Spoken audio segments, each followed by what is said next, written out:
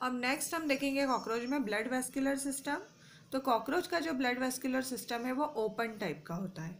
Open और closed closed यानी क्या बताया था आपको कि जहाँ पर ब्लड वेसल्स में बहता है और ओपन टाइप यानी सारे जो बॉडी के ऑर्गन्स हैं, वो ब्लड में डूबे हुए रहेंगे, कोई ब्लड वेसल्स नहीं है.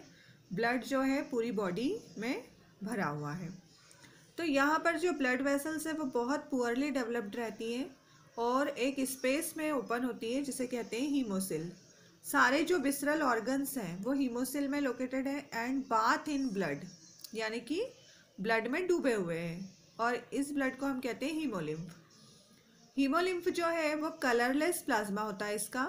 मतलब कॉकरोच का जो ब्लड है, वो किसी कलर का नहीं होगा कलरलेस होगा. रेड कलर का नहीं होता है. तो कलरलेस प्लाज्मा और साथ ही साथ यहाँ हीमोसाइट्स होते हैं. हर्ट जो है कॉकरोच का वो थर्टीन चैम्बर हर्ट होता है और आ, कैसे बना हुआ होता है? Elongated muscular tube like structure होगा जो पूरी mid dorsal line of thorax and abdomen यानी थोरेक्स और एब्डोमन को पूरा कवर करता है। थर्टीन चैम्बर हर्ट है यहाँ पर।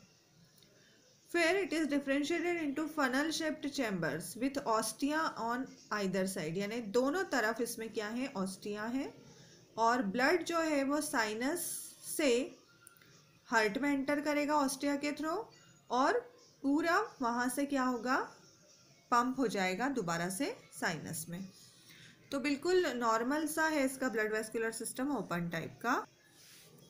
ये देखिए।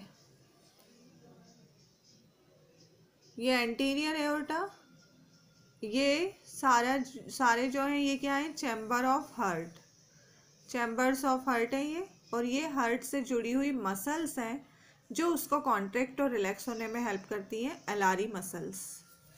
ठीक है? क्या नाम है इनका? एलारी मसल्स। ये एंटीरियर अर्टा और ये चैम्बर्स ऑफ़ हार्ट तो ये पूरा इसका ब्लड वेस्कुलर सिस्टम है।